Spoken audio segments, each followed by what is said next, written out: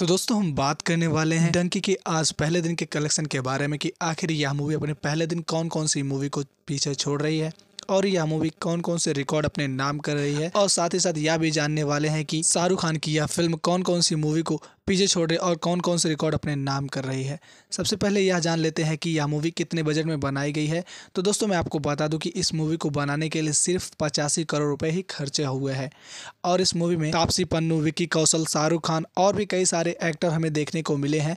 वहीं आपको बता दूँ कि इस मूवी में हमें चार दोस्तों की कहानी दिखाई गई है और इन्हीं चारों के ऊपर इस कहानी को बेस्ट किया गया है कि आखिर चारों दोस्त कैसे इन लीगल तरीके से विदेश में एंट्री करते हैं और उनके साथ विदेश में कैसा कैसा व्यवहार होता है। इस मूवी में यही दिखाया गया है। तो अब वहीं बात कर लेते हैं इसके पहले दिन के इंडियन बॉक्स ऑफ़िस कलेक्शन के बारे में कि आखिर इस मूवी ने अपने पहले दिन कितने का इंडियन नेट कलेक्शन किया था और साथ ही साथ यह भी बात कर लेते इस मूवी को कितने स्क्रीन पर रिलीज़ किया गया था। तो दोस्तों, मैं आपको बता दूँ कि इस मूवी को टोटल स्क्रीन साढ़े चार हज़ार स्क्रीन पर रिलीज़ किया गया था। इस मूवी को टोटल स्क्रीन साढ़े पाँच हज़ार स्क्रीन मिली थी। अब हम बात कर लेते इस मूवी के पहले दिन के इंडियन नेट कलेक्शन के बारे में। तो दोस्तों, इस मूवी के पहले दिन का इंडियन नेट कलेक्शन तीस करोड़ रुपए का हो चुका है। वहीं आपको बता दो की इस मूवी के वहीं आपको बता दो कि इस मूवी का पहले दिन का इंडियन बॉक्स ऑफ़िस कलेक्शन बहुत ही कम है। जितना सोचे थे उतना नहीं है। वहीं आपको बता दें कि इस मूवी ने ओवरसीज से लगभग 40 से 45 करोड़ रुपए का कलेक्शन कर चुकी है। वैसे में इस मूवी का टोटल वर्ल्ड वाइड कलेक्शन छहत्तर से 80 करोड़ रुपए के आसपास है। दोस्तों यह मूवी अपने पहले ही दिन अपने बजट को रिकवर कर चुकी है। दोस्तों मैं आपको बता दूँ कि इस मूवी को ऑडियंस का उतना अच्छा रिस्पांस नहीं मिल रहा है। लेकिन दोस्तों इस मूवी ने ठीक ठाक ही कलेक्शन किया है। वैसे दोस्तों आपने यह मूवी देखी या फिर नहीं